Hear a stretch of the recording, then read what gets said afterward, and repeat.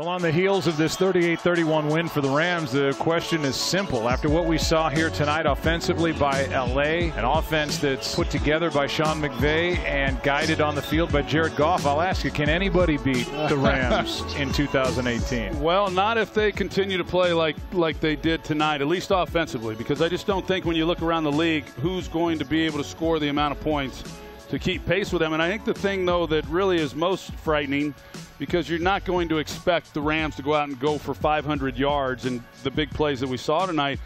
Wade Phillips is going to get this defense playing yeah. better. They've got too good of players to not play better than what they showed here today. And so you combine the the veteran uh, players and then the veteran leadership of a guy like Wade Phillips, along with a Jared Goff and some of these younger players that are coming along, and uh, that's uh, that's hard to imagine that uh, they're not the favorites as we move through this year.